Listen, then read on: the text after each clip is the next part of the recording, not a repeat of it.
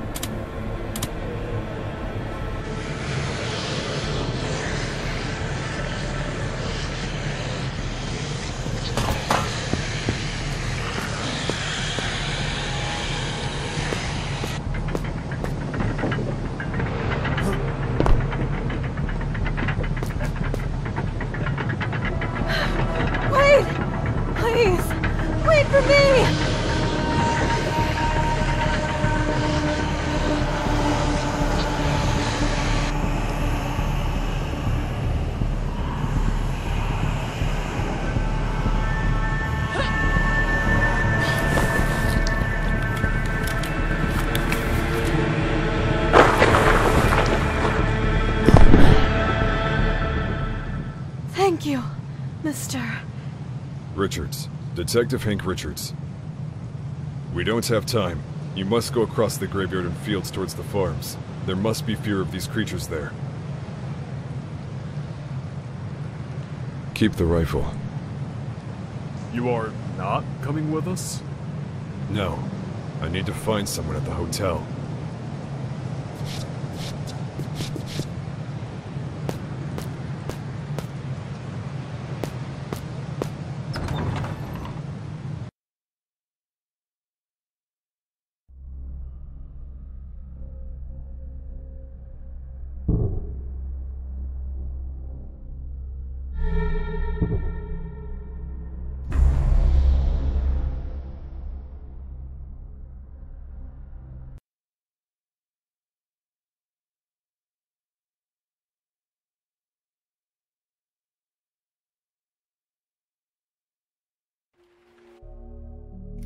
Where are you, Cross?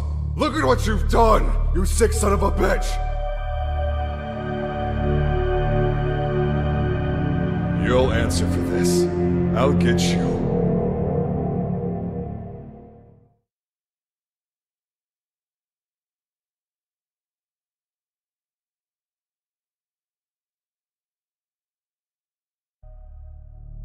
Where are you, Cross? Look at what you've done, you sick son of a bitch!